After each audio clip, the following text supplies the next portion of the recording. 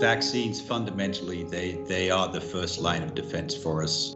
What's critical with that is when you've got a vaccine, uh, you have to have a delivery device. BD are the leading manufacturers of needles and, and syringes in the world. So obviously we will play a very instrumental role in the effective administration of, of the vaccine. With our experience from the H1N1 pandemic back in 2009, uh, we realized that there is a particular ramp up time needed in order to derive sufficient supplies uh, for the global community.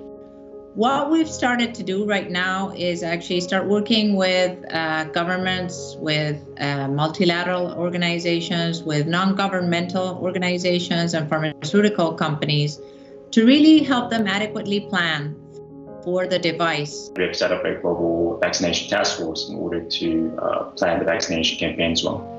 We are also working with different pharmaceutical companies to understand where they're at in their vaccine development and synchronizing it appropriately with the right medical devices as well. I think there's just a much greater openness in terms of how we all work together, whether it's within our organization or from organization to organization.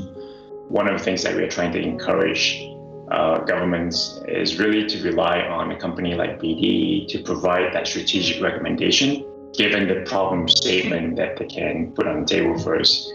And I, I think here the investment in, in stockpiling of, of devices is so small compared to the risk of, of them not being available when the vaccine actually is ready uh, is huge.